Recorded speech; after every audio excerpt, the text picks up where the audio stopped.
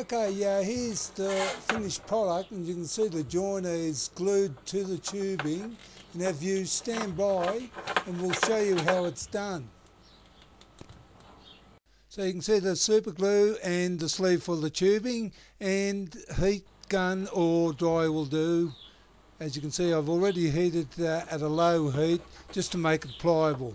So you get your first piece of tubing, get the super glue and you apply it around the tubing on the outside of course.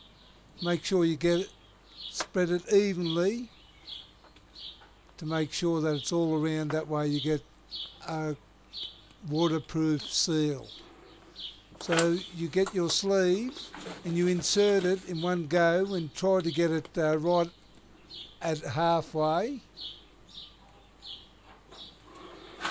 so you get the other piece of tubing, do exactly the same. Put The super glue here.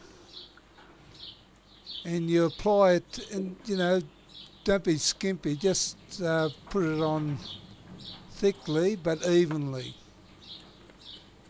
And once you've got it and you go to put in the sleeve, just remember it's uh, once it's in, it's right. So you want to do this all in one go like that.